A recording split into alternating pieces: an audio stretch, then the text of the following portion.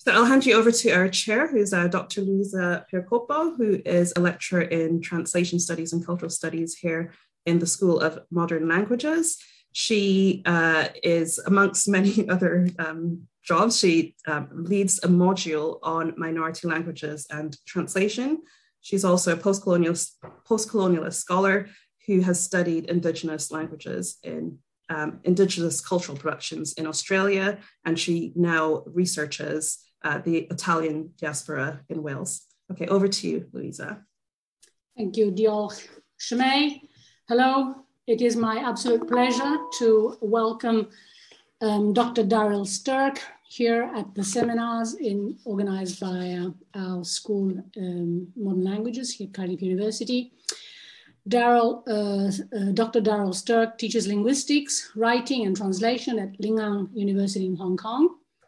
And his research interests include eco translation, indigenous translation studies, and film and fiction from Taiwan. He is also a translator and has translated eco fiction by Taiwanese authors such as Wu Mingyi and Xue Yue.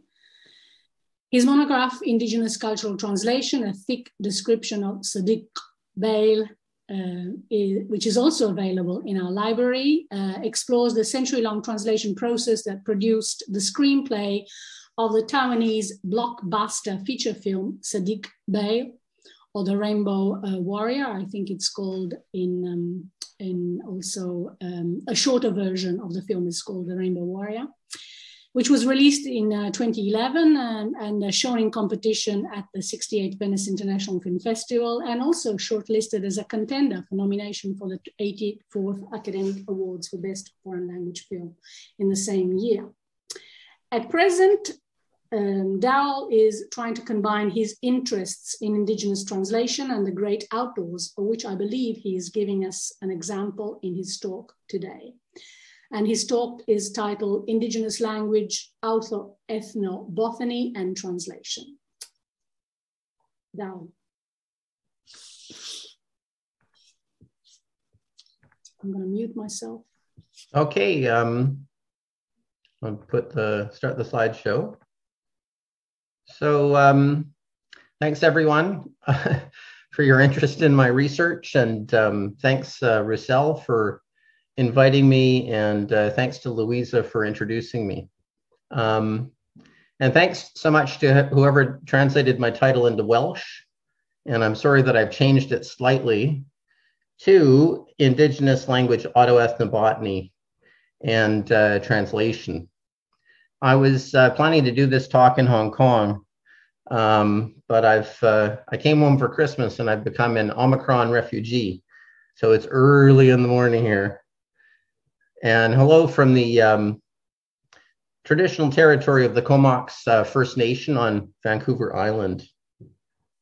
On the west coast of Canada, in the land of uh, Western uh, red cedar on the left and Douglas fir on the right, they're both really easy trees to recognize. You can see the uh, trident shaped tassels on the uh, fir cones. So I've been um, getting familiar with the plants here.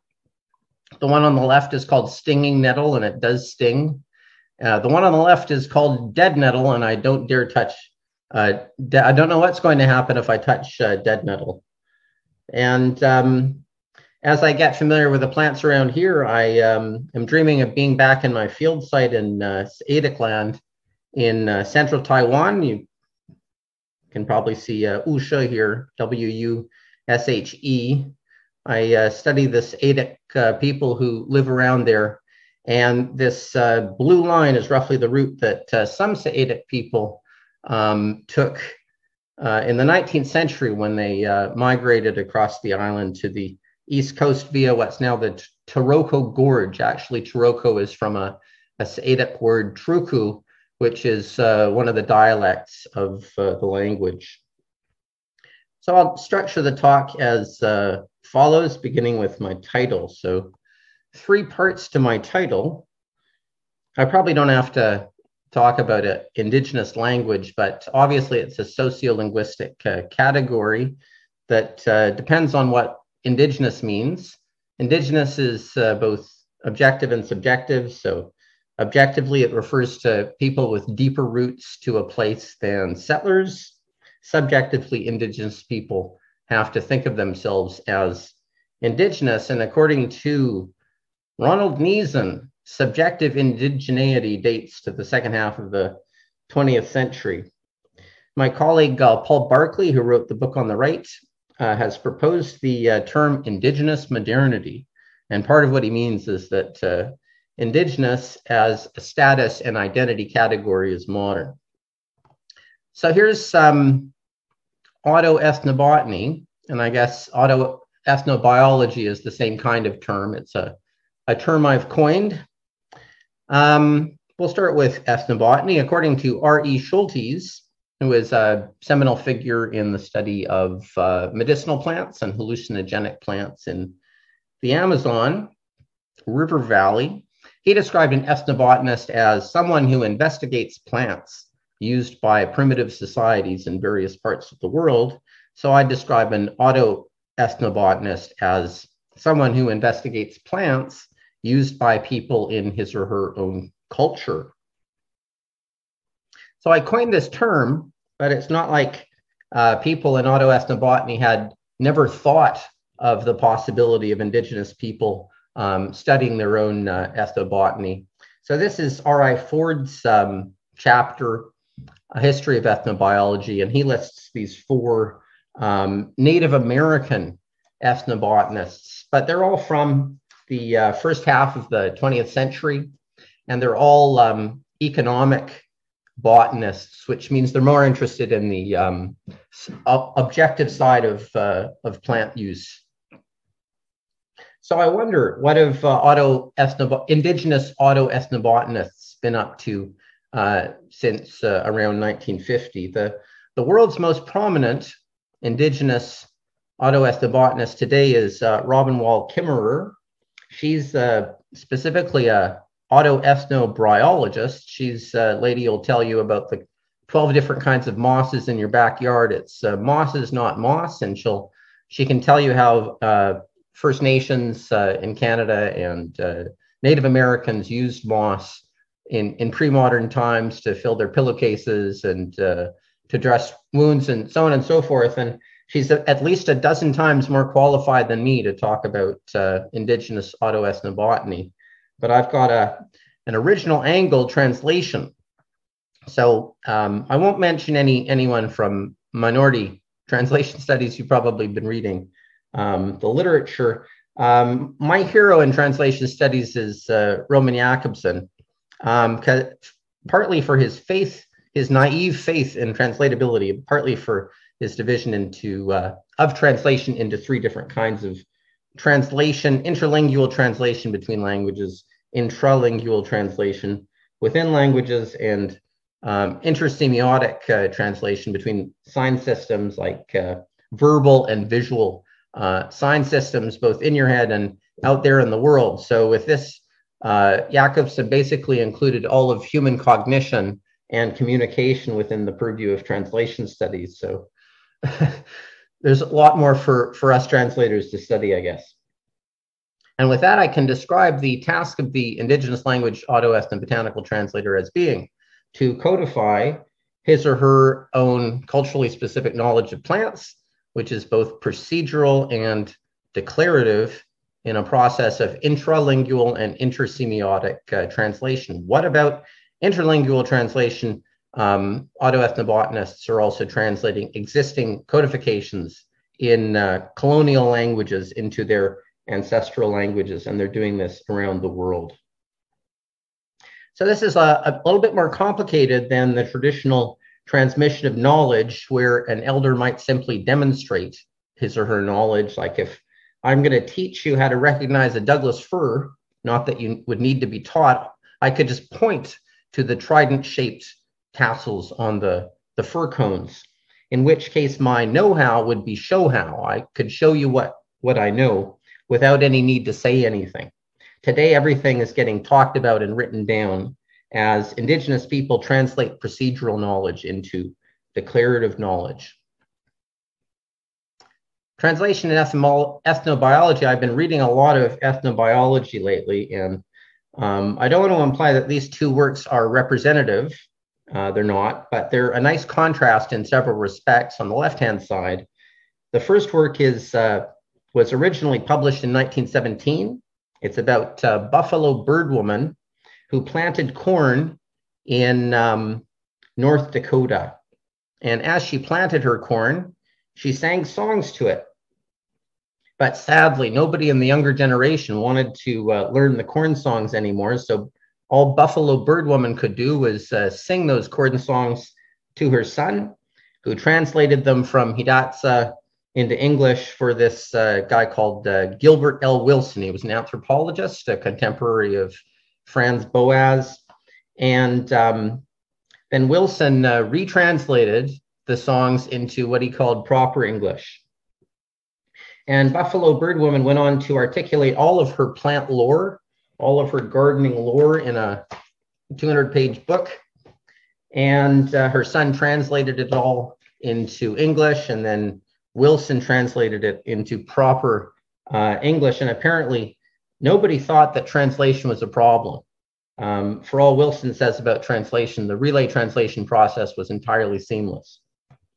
A hundred years later, this uh, anthropologist Paul Nadasdy wrote a book called Hunter Bureaucrats, and by this point, um, translation had become a problem. Nadasdy shares Buffalo Birdwoman's uh, concern about the potential disappearance of uh, indigenous uh, tradition.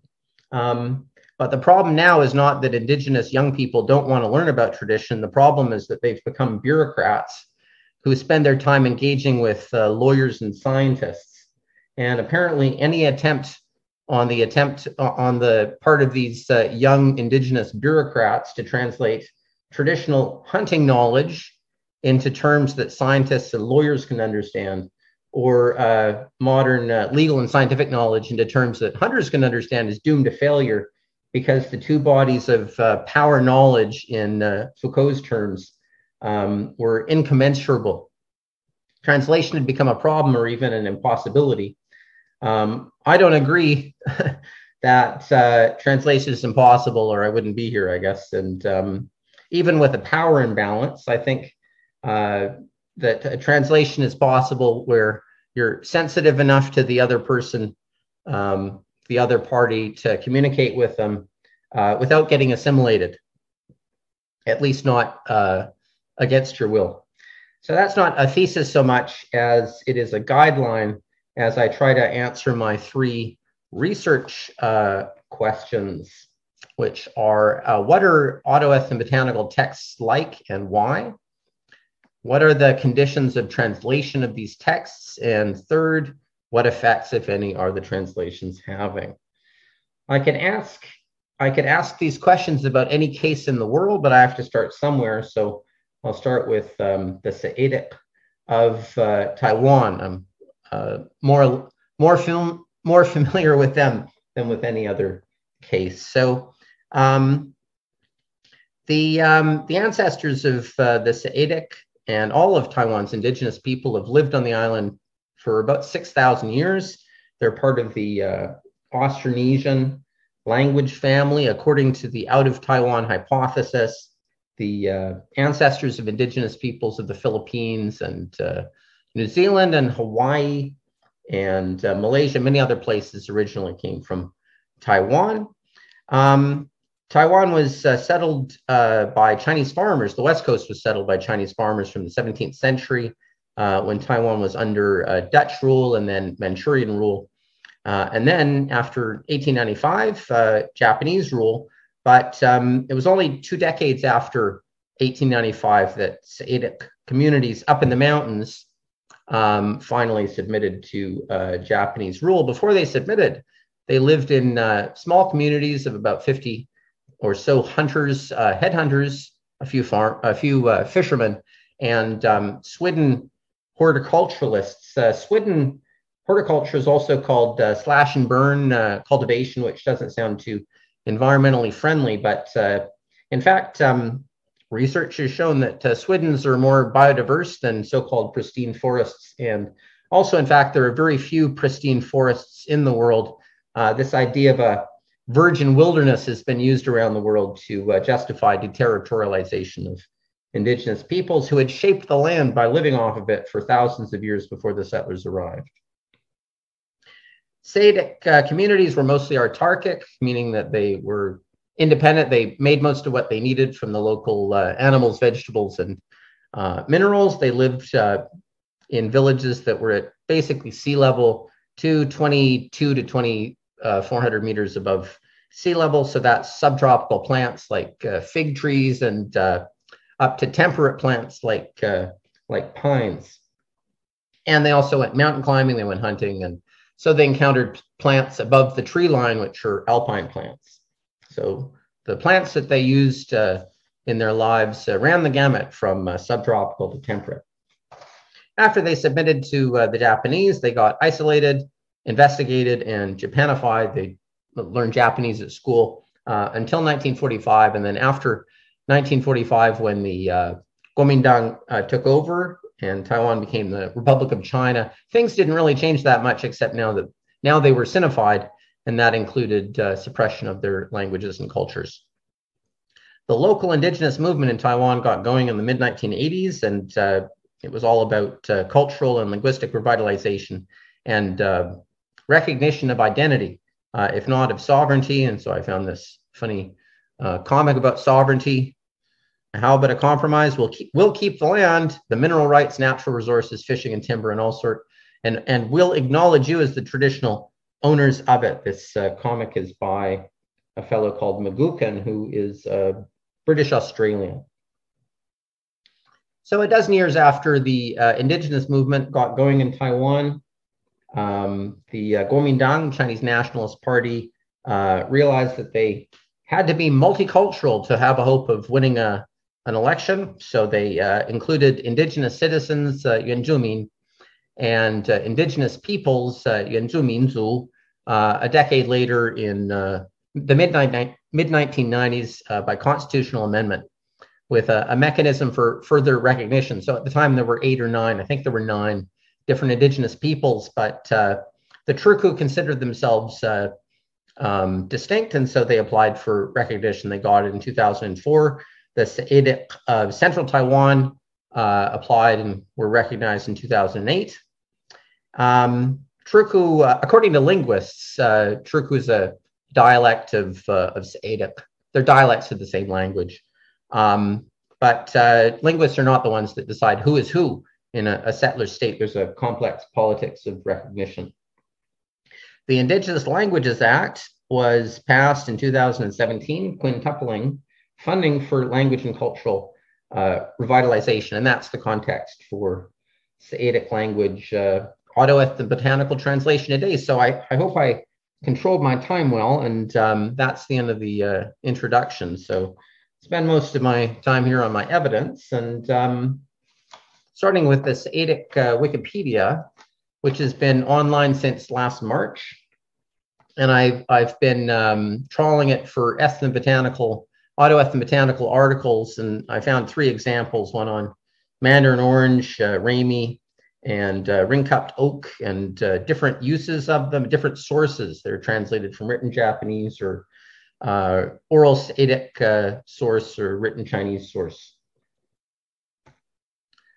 All right, so um, mudu is uh, apparently the word for juzi, as you'll see in brackets, bracketed translation into Mandarin which is Citrus reticulata, uh, which is this guy.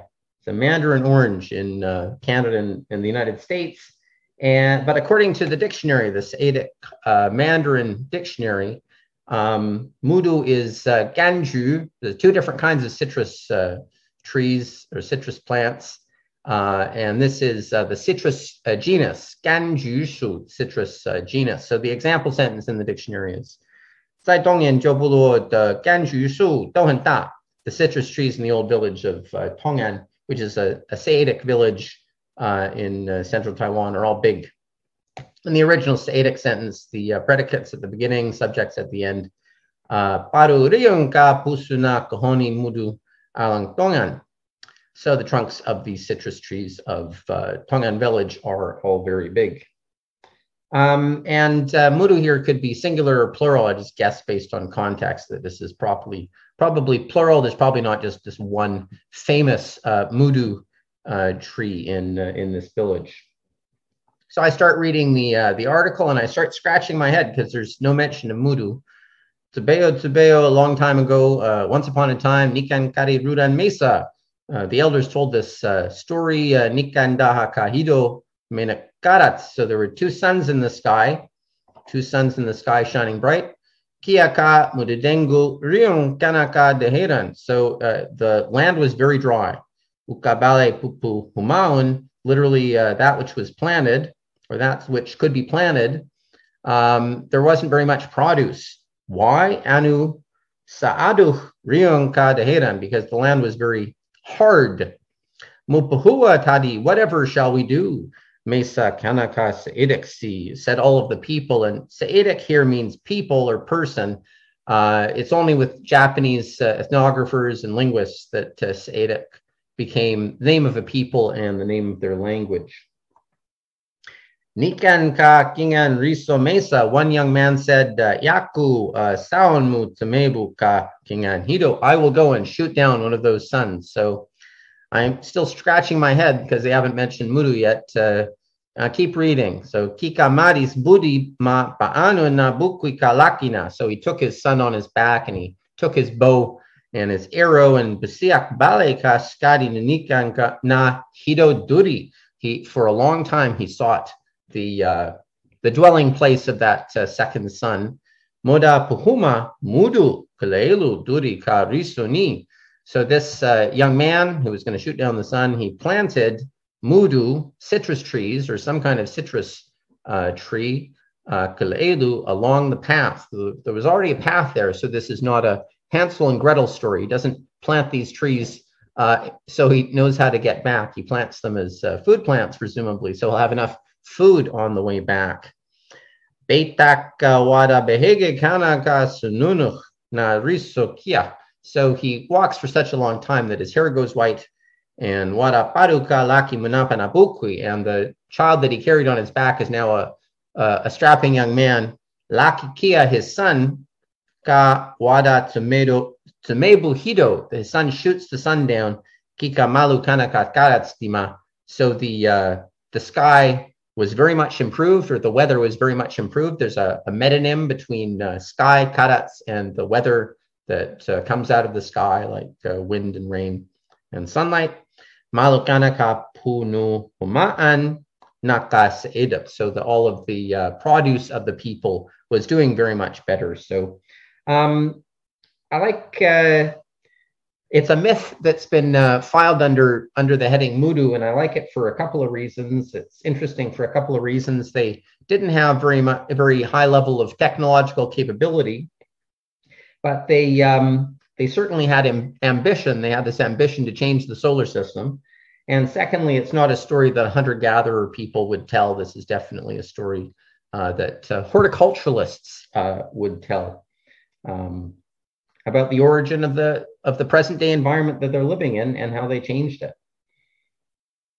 So the uh, identity of Mudu keeps uh, bugging me, and I go and check iNaturalist for all of the uh, citrus plants that grow in northern and central Taiwan. And the only one that grows in uh, uh, land in Renai Xiang is uh, Citrus maximus uh, which is pomelo. And uh, that happens to be the citrus uh, plant that's mentioned in the first recorded version of this story about shooting down the second sun recorded by this Japanese linguist, uh, Erin Asai, who published his uh, book in 1935. Right, so this is um, obviously an, an issue of translation, how to translate Mudu, whether it can be translated. And um, it's kind of a Gavagai problem, if you know uh, the thought experiment in, um, in uh, philosophy of, of language a hundred years ago, if you were in a Seediq village and you asked somebody what's Mudu and they showed you it, uh, you wouldn't know exactly what Mudu meant. It could mean trunk, tree, fruit, the individual tree, or it can mean a kind of tree. So you learn the language well enough to know that it's a kind of tree, but it would still take a long time to know exactly what was included in that kind of tree. And if you ask somebody different, uh, you get a different answer. And if you asked a Seediq person today, their answer might be uh, affected by their modern shopping experience. They can go to the supermarket and get any number of different kinds of uh, citrus and their modern scientific knowledge, for instance, that uh, the uh, pomelo and the mandarin orange, they belong to the same uh, genus, citrus. In fact, I suspect that uh, mudu is typically pomelo or maybe mandarin orange, but that it's expanding to include uh, citrus trees in general. Whatever it is, it's an example of a food plant. And um, I was going to ask you if you could recognize this uh, weaving plant. I just already told you what it is. It's ramie. Um, ramie is apparently uh, the name of the plant in Austronesian languages outside of Taiwan, uh, but it's not reconstructible for uh, uh, languages in Taiwan. And uh, it's called by different names in different languages in Taiwan. In Seediq land, it's called Kegui, so here it goes, Ramie, Kegui, Kegui Niwe. As for this plant called Kegui, Pusu Panyahan Wade Yaminu Saedic. So it's where we get our um, un, undyed uh, uh, string that we weave our clothing with. Ani ma'anu so tutunun namakadinwe. So any uh, weaving that uh, women do, hashika nikan you've got to have this, this wade, which is made from uh. Egu kalegan ka kegwini mesa rudan mekadin uh, alang. So there are many different kinds of uh, ramie according to elderly ladies in the uh, in the village, and uh, they don't go on to explain this, unfortunately. So maybe this lo- knowledge of all the different kinds of ramie is uh, gone forever. They mention two kinds: kegwi kaluch ka ga nami duuyun yami seedek nisaya. So the black kegwi is the one that we use today. Adoka mukalach harika rehakna, because, oops, the um, seeds are a little bit uh, black or the seeds are kind of dark. Anishi kegwi bale ka lechan daha to mangayan sayari, but we tend to nowadays to call it true uh, kegwi or real kegwi. And I've been reading in autoethnobiology. This is a, a common um, phenomenon around the world in folk biologies uh, around the world. And so what hap- what tends to happen is that people use uh, words meaning something like real or true to modify the name of a, a plant when uh, it's the most familiar example of the plant. So this is kind of the same as the notion of the type species in uh, botany or all of biology. Every genus has a type species. So the type species of uh, citrus genus is Citrus medica, the citron. And Ramie is the type species of the Boehmeria uh, genus. Keguibale, which they mention here, is um, it's kind of like the type kind of Ramie for uh, the Seediq people. Anything similar to the type kind will get called something else, like uh, Keguikaluch, uh, or another example uh, in the last sentence, Nikan Kingan Kesundaha Kegui Rungewe uh, Inidaha Ngali Tutinun Kakia. So there's another kind of uh, ramie, another kind of kegui called uh, monkey uh, ramie, kegui runge, monkey uh, runge. And monkeys are kind of playful and they don't listen to orders and you can't tame them. So it's it's a way of talking about things that are growing out, out in the in the in the wilderness and they don't use it to, to do their weaving. So what's the difference between uh, these two kinds of uh, kegui. Uh, the one on the left-hand side is ramie, so the uh, stipule, they're two stipules and they're separated. And on the right-hand side is kegui runge, the uh, monkey uh, ramie, and then the, the stipules are uh, joined together at, at, the base. All right, so that was uh, that was um, an article in in uh, the Wikipedia with a, an oral source. Uh, Diwas Bowen was an elder who died in 1997, I think, and uh, she uh, told uh, Dakis Bowen here about uh, Kegui, and he recorded it. He Dakis Bowen sadly passed away last uh, last October. So here's my third example. It's got a Chinese written source, and it's a hunting plant. So the source is Alang Tongan uh, it's the same village that I mentioned earlier, the example sentence from the um, from the, the, the dictionary about about mudu, about citrus. Uh, so this is uh, about the plants that live um, around this village, and it's written by an anthropologist, the ex-husband of uh, one of the the auto-ethnobotanical translators that I've been studying, and uh, a botanist, uh, his colleague at uh, University uh, Furindashie. So you can see the leaves have, are serrated at the edges, they're pointed, and you can see it's uh, got acorns, it's kind of oak. It's uh, called the um, ring-cupped oak. That's right. All right, so here's the, the article. Divided into a botanical description. Uh, Laos Ni, they spell it wrong at the beginning, but uh, oh well. Uh, uh, Xieming is Xueming, the uh, scientific name na Xingang Li, cyano uh, or cyano uh, Balanopsis uh, glauca na Kohoni Mugusama. So it's uh, its shape or its body. It's a green plant. I don't know what they mean by that. I don't think they mean deciduous, and it's not evergreen. So maybe they just mean that there are most plants are green, but some plants aren't, and this happens to be a green one. Tira na hani humaneruma wasona nikanso uben. So I, I I can't see this, but it says that the the leaves are pubescent, meaning they they're a little bit hairy on uh, branches that have just grown out. Um, and the um, the heina, the uh, it's uh, meat or uh, it's fruit. Hei means fruit as well. Mugutumun ma mugutsuki. Uh, so it's got round acorns, round fruit. I think you can see that, and they're shaped like bamboo cups with the lids. So I think you can say that, see that too. That's almost poetic comparison between uh, these acorns in a in a kind of cup. Nikan ubanduri. It says they're also pubescent. They're also got this fuzz on them, but I can't see it. All right, so that's uh, that's Wikipedia for you. I'm also um, oh sorry, I forgot. There's an ethno description as well. Uh, Laos ni ani inu uh, ego rianga katan uh, mudakil alang nu Seediq hia. So it grows all around Seediq villages. Laos ni parude saada rianga yu It's heartwood na. Uh, so when the tree is big, it's got very hard wood. Kika kuhun riang sedaka kahonini. So people love this tree because it's got such hard wood. Uh, anu ngalan sapa erutsma musa tumulenga de malu sulumeun uh, behena katuri. So you can use it to uh, for the posts in your house.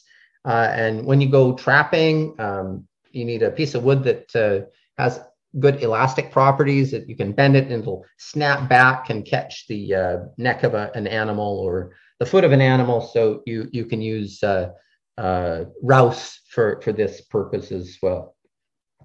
How am I doing for time? I'll show you a couple video oh, sources okay. and then I'll. Okay. Okay, I'll, I'll, I'll make it quick. This, um, you get tired of reading, you know, so I, I go looking for uh, uh, videos and, and most of the texts are written by people I know, my friends, and videos are made, made by my friends as well. So this is by uh, Warandiro handsome guy 10 years ago, Pastor uh, Warandiro. And he made this documentary about uh, plants in uh, the traditional Seediq lifestyle. So I don't know if I have to share my uh, share the sound. Can you hear? Okay, sounds a little bit like uh, Paul Simon and the, the rhythm of the saints. I don't know if they if they stole the music from that, but he goes and um, visits this elderly lady in the village and watches her process uh, kegui into wade. And she uses this uh, bamboo tool.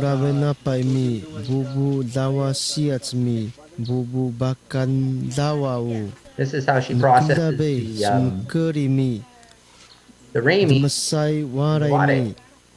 And you notice she's the one, she's just uh, demonstrating her know-how. She, this is show how. And uh, the auto-ethnobotanical translator, Warandiro, just keeps on talking, talk, talk, talk. So that, and then uh, see what ware looks like when it's done. So is different kinds of ware, different um, colors. This is what it looks like where they grow it and tend it. And then they sing these songs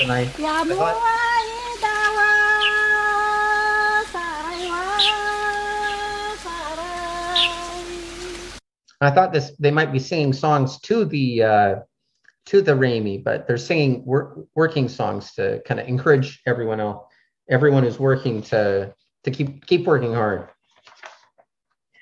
All right, and then he makes another video about hunting plants, including Rauf. Kia ia musa de miko do musa ne mato ku mu Yes, I musa heard- Talk about his Ibaday hunting lore. pentena sedik waya kemberawan usa So that the uh, subtitles are in Mandarin, but he's talking in his dialect of uh, Seediq, which is Doda. umadok lemiko. Ana nami muruh musa. Yeah. So uh, here he's saying that other uh, indigenous peoples in Taiwan they uh, go in hunting parties, but the Seediq uh, go alone. Muruh uh, Mosa, and so um, one of my theses, and probably an obvious thesis, that indigenous peoples uh, realize who they are and what they're all about by comparison with other peoples. It's only through cultural comparison that they they figure out who they are, they what their identity is all about. And then they go on to dem- kind of uh, share hunting uh, lore with uh, with uh, the audience who's watching TV at home. This is the indigenous broadcaster Yin Shi, channel 16. wainu ka nikan khoni britsak pa. So Nika Wainu Nikan Gohoni Or Brits Britsakga, I can't tell what the last word is. Ba Huangjin, Taiwan Huangjin Bajwam. Yeah, I can't find this plant. So he mentions this plant. It's called, we know what it's called in, in Doda Seediq, but we don't know what, what plant it is. At least I don't know. And uh, so he says, where where you find where a hunter finds this plant, he knows- he's going to find uh, Bada, which is uh, shoot, I've forgotten what. Uh, yeah, the muntjac. Bada is the muntjac, and uh, Rukenuch is uh, barking deer. So this is habitat for uh, these two animals, as it says here in the Chinese Chishidi habitat. But in in uh, Seediq, he doesn't have a word that corresponds to habitat. He just says that you're going to find them there.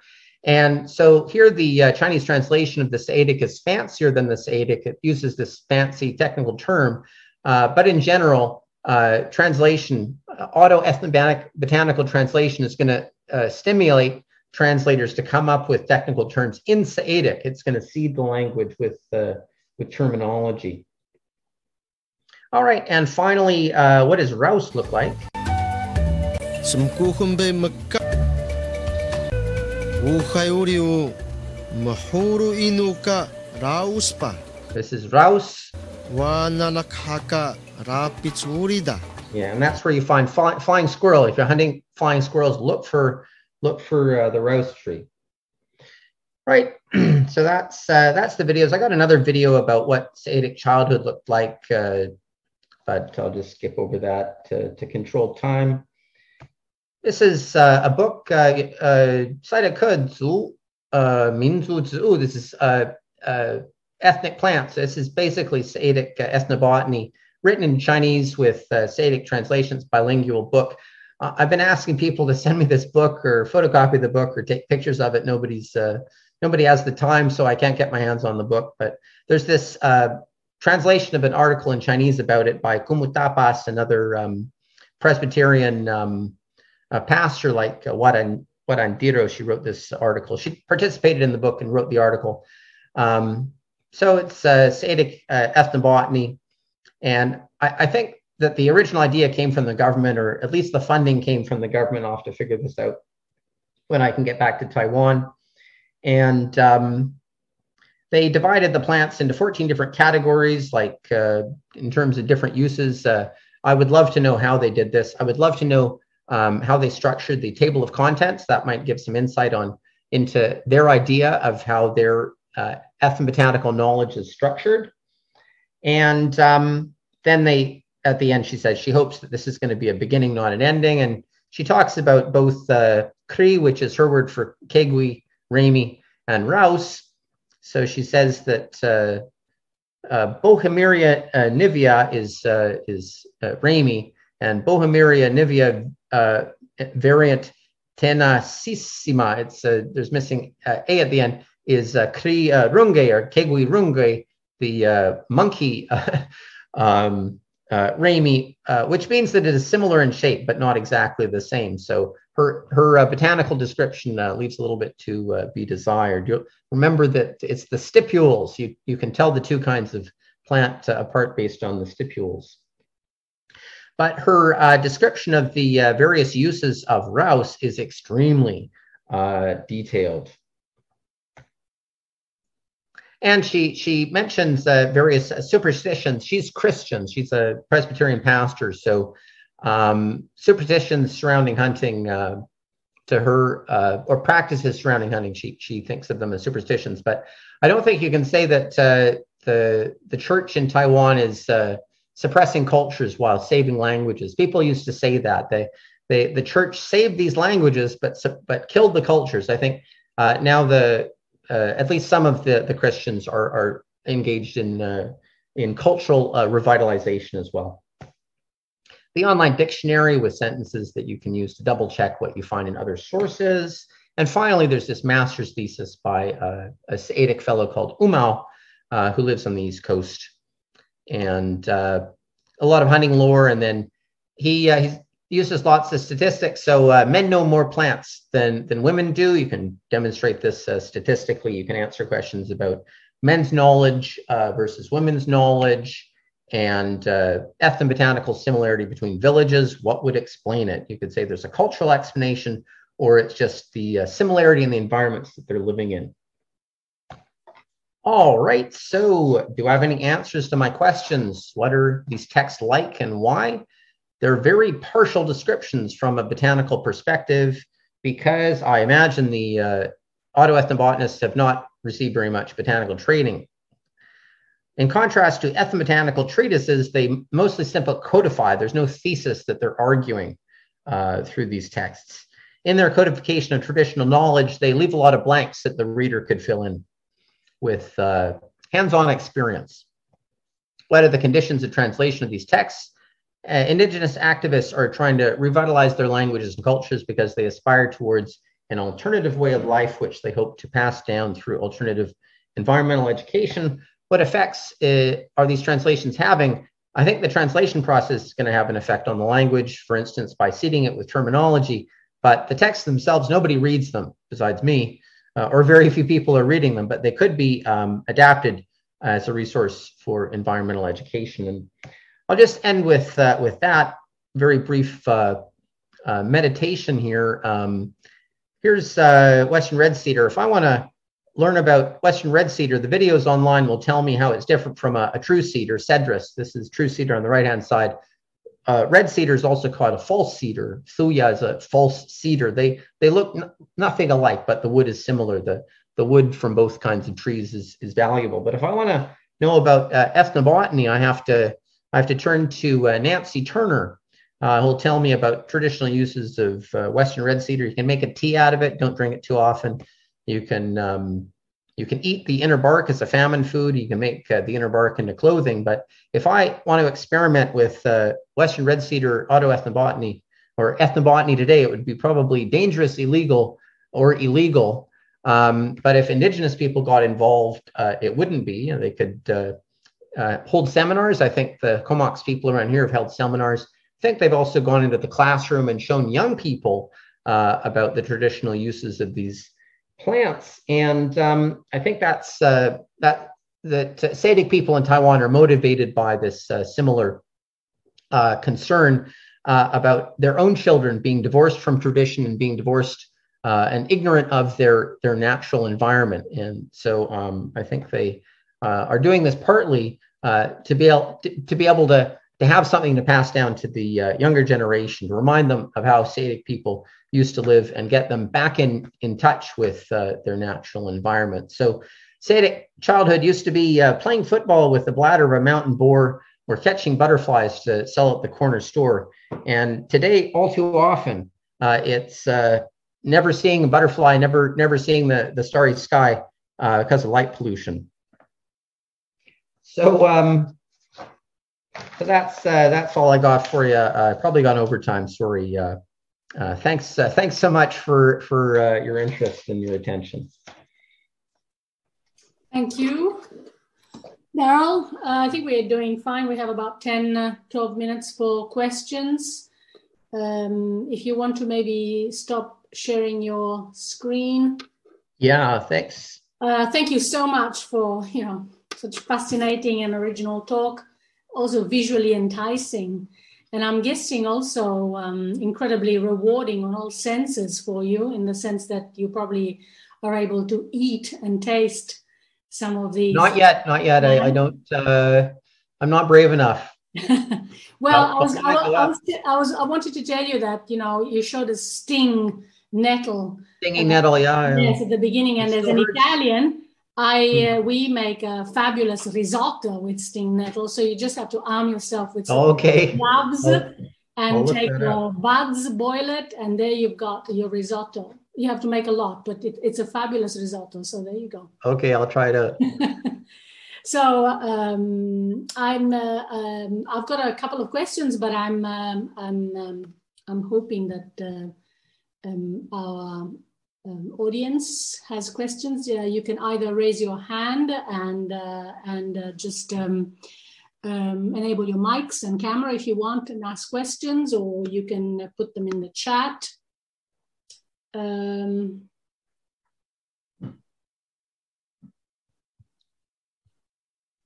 okay, so uh, um, let me see. Um, I, I, I, found it uh, quite uh, fascinating uh, as, uh, as a scholar of Indigenous, uh, Australian Indigenous um, um, translation, I, I, found a lot of similarities there, but as a Sardinian, a lot of similarities there as well, as a, as a Sardinian and, and a teacher of um, uh, translation and minority um, uh, writing. So you, tell, you told us that the users are not that many, basically, and, uh, and, um, and, and, so uh, um, so uh, and and they've been um, giving um, you know children this way of, of, of living. Do you think that they could uh, eventually think of using their knowledge also to, to kind of, I know I'm going that very far, but it's a way of using the languages. Today, one of my students uh, uh, mentioned the fact that if you, if there is a job in that minority language, then, uh, you know, people are interested in learning that language and uh, and in, in going beyond you know primary school so one of the jobs could be probably i'm just it's an idea and i'm just thinking if this is actually possible of doing some kind of ecotourism uh, yeah they do within, you know there's um, ecotourism in the village and um, they will get elders to explain things in um, in in Seediq and then they'll translate into uh, into Mandarin for the uh, eco-tourists. It's eco-ethnotourism. And um, often the elders are, are perfectly able to speak Mandarin, but it's part of the eco-ethnotourism experience. And um, um, I, I'd, I'd uh, if, if I went on the, one of these tours, I'd want them to teach me some of the language, but most uh, eco-ethnotourists are not are not up for it. Uh, and I, am gonna I'm gonna uh, give the floor to Angela in a second, but just to, to clarify here, how different are is Cantonese and Mandarin from the three different uh, Seediq um, uh, languages? Oh, uh, is um, Formosan Austronesian language. So uh, uh, is a lot more similar to Tagalog in the Philippines than it is to Mandarin. Um, I don't people have proposed a connection between uh, Austronesian languages and uh, Sinitic languages, but the evidence is very shaky and thousands of, of years uh, old. So uh, not very much in common at all. But I, I, I talked to uh, uh, Filipino friends and we'll say babui and say, ah, oh, pig. And so they use the same words for, for common things and uh, the where you count. And um, some of the grammatical machinery is similar too like and in um, in Seediq is uh, uh, locational um, uh, focus it's called. It's a way of nominalizing uh, uh, verbs. It's also a way of, uh, of choosing as your subject some sort of location and that's it's the same in um, in in Tagalog so there are all these kind of uncanny uncanny connections between um, uh, Taiwanese indigenous languages like Seediq and, and Austronesian languages. Okay. like uh, Tagalog. We've But got, uh, got two there, questions. there are a lot of Chinese loan words in, in Seediq, but they're loan words. It's not a genetic relationship. Uh, Angela, do you want to unmute yourself and uh, and um, and ask? Sure. Hi. Thank you so much for the fascinating presentation. I'm pretty sure I'm going to butcher the name, but um, you may have said this, but I may have missed it. So my question is in two parts. One is who initiated the process of classification of the plans and then of translation of the names? That's the first part, which you may have addressed, but I may have missed it entirely. And the second part is just slightly related. If there is a study on name places and on people's names in Seediq. Thank you. Uh, thanks, Angela, for your question. Um, the first question is who uh, initiated uh, the process? Um, I uh, I don't know. Uh, I imagine somebody at um, Zhengzhi uh, might have been behind it. Uh, it's um, one of the national universities in in uh, Taipei. Okay, so let Um, me sorry, let me rephrase the question. So it wasn't the indigenous peoples, it was Well, uh, it might have been an indigenous person uh, Okay. at this university. Um, there's an Atayal guy uh, uh, at at the university that studies um, uh, his his own his own culture, and, and he has lots of initiatives that uh, he promotes and says, "Hey, we, we tried this in in one village. Why don't you try it uh, in different parts of the country?"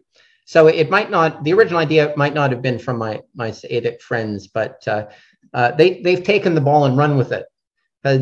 It takes an enormous amount of energy to to to come come up with material for an ethnobotanical book, auto ethnobotanical book, or to fill um, to have enough articles on Wikipedia to to launch uh, an official Wikipedia. So the the original idea uh, may not have come come from them, but they've uh, they've done all the work, and they they continue to to to work hard at this. They've become bureaucrats in a way, like uh, Paul uh, Nadasdy's uh, book on hunters and, and bureaucrats. But they're they're they're writing all this stuff in the hopes that they it'll help them reconnect and help their children reconnect with uh, with their culture and maybe re- reinvent their culture in some way. What was your uh, second question? Uh, sorry. that's okay. The second Oh, there, there's is there something on uh, on place names and uh, and personal names? Yes, if there is has been a, a study on place names and people's names, as you know, how sometimes they are There's- translated into the dominant language. So if there has Oh yeah, how they're translated. They're, they're mostly uh, trans uh, transliterated, so they'll find um, something similar in uh, in Mandarin, something that sounds similar in Mandarin. not on place names, but also on people's names. Uh, people's names, yeah, yeah, they do the same thing. They transliterate it into Japanese or, or Mandarin. Um, people's names often mean something, and often it's plants uh, or features of the local environment, like uh, wasp. There's this guy that uh, had the nickname Wasp because you didn't want to mess with him. Um, Okay, yeah, I, I, I will think write you really an email. interesting. Totally, I will write you an email because I'm looking at, I'm doing a study on, I was doing a study almost. Why don't we uh, get in touch and I- I uh, will. can compare notes? Definitely. Thank you so much. Appreciate it. Thank you. There's another question from uh, Kevin Batcher. Demu, Demu, how are you doing? Thank you for uh, thank you for attending. Vy Axel, um, we siya tayo nagkita Very nice. Uh, I like you talking. Oh yeah, about, I, I don't really have a question, but rather a comment, and and that uh, concerns your question of what really, what exactly Mudu um, refers to, right? Mm-hmm. I was thinking that Mudu maybe, you know, maybe there's not one answer to it because, yeah, um, I mean, if you think about it, really, um, and I, and I compare it to a case. I, am from Switzerland, right? And I think here in Switzerland we have at least three different kinds of maple. But usually, when we say maple, when we use the word for maple, then we refer to the to the species that's common in our area, right? Even Mhm. though it's also a cover term for several species as well, right? So depending on the situation, it can refer to a different thing. And really, I mean, if you look at if you compare what the purpose of Wikipedia is, as opposed to the traditional purpose of the um, Seediq language, right? I mean, they're Yeah. very because Seediq used to only be really a tool of communication within the culture and natural environment of the yeah. people, right? And whereas um, Wikipedia is really a scientific tool to describe the world in general. So, yeah. so I mean, I can imagine that you know, whichever perspective you take, um, there's a different answer to the question of of what Mudu really means, right? Yeah, and what you could add uh, entries to the dictionary, I guess. You can add what? You could add entries to your uh, to the lexicon. I mean, um, sure, yeah, true. There's Mudu Bale, which is the one they they're originally familiar with, with right. the one that they used to grow or the that grew around here, and then they say Mudu uh, can also mean citrus, and this is uh, in a more modern context. Right. And your exactly. your maple would be maple bale, I guess. That's right. It would be a different. It would be a different uh, maple bale depending on where you are, right? Yeah, yeah. um, and, and, one more thing that I just thought about um, concerning the last question. Um, so, so one interesting case of a place name um, and the interaction between different languages is the one of Sunuwil, right? Because because I yeah. think uh, the traditional name of it is Ungu, and then it, it got the um, the um, Chinese name of Chunyang, right? Which doesn't really isn't really based on the um, original um, indigenous place name. Yeah. But then that Chinese name was translated um, into um, oh no no I think the what is it Sakura right the the Japanese name. Yeah. the Japanese named it Sakura. Yeah. yeah. That's where uh, Warandiro is from, and I think that's where where Kumu is from as well. And mm-hmm. now it's called. Um, uh, in what language? I think yeah, it's called uh, Sakura, but then they came up with um, uh, an older name, uh, Sinui. Yeah, Umu, I think Umu is, so, so I'll write that down because um, I saw the question that someone. Can you guys see that? Sinuil. Yeah. yeah. So originally it was Umu. Um, and I don't know what Umu means, just know it as a name. Um, and then it got the name Sakura, which means cherry blossom or, or just cherry. In, in Japanese, yeah. yeah. And then yeah, this was translated into um, um, um, Sunuwil again, which also means um, cherry, right? Yeah, yeah, I like it. It's inspired by the Japanese. Um, yeah. And there's a special kind of cherry that grows around there, Usha cherry. Yeah, yeah. And they, the way this is an answer to the other question too. The way that they um, transliterated it into Chinese is, uh, I think, uh, Nu Wing. I don't know about the first two uh, characters, but the third one is um, is that the character for uh, Cherry? Snooing. I don't actually know uh, uh, in Chinese because in Chinese it usually has yet another name, which is uh, Chunyang, right? Which I don't know where it comes from. Yeah. Yeah, Chunyang, who knows where that came from? Um, but uh, Snuil is is what uh, wants to call it now. And when he transliterates it into Chinese, uh, he uses the third character Ing is uh, for cherry. yeah.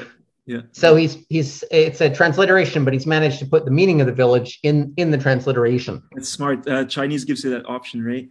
Yeah. With other, very clever. From, from English, for example. Um, yeah. Like hacker, hacker is hey right? Yeah, yeah, yeah, yeah. it's it's a transliteration that also means something appropriate. Black guest, right? Yeah. Yeah. Can, can you tell us how many speakers there are uh, of you know more or less of the Seediq? Uh...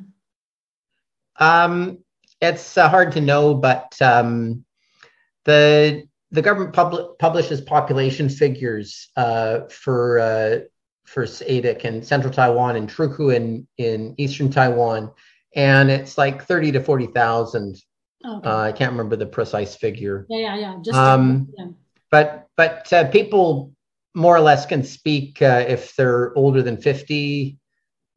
It's a grandmother tongue for the most part. Yes. yes. Uh, so I don't know. I mean, uh, maybe 10,000 uh, speakers of Truku and, and different different dialects of, of Seediq in, in Taiwan. But there are young people that can speak it. There are a few very young children that can speak it very well if they get raised by their grandparents. Yeah. And um, uh, there's a 23 year old who uh, who's completely fluent.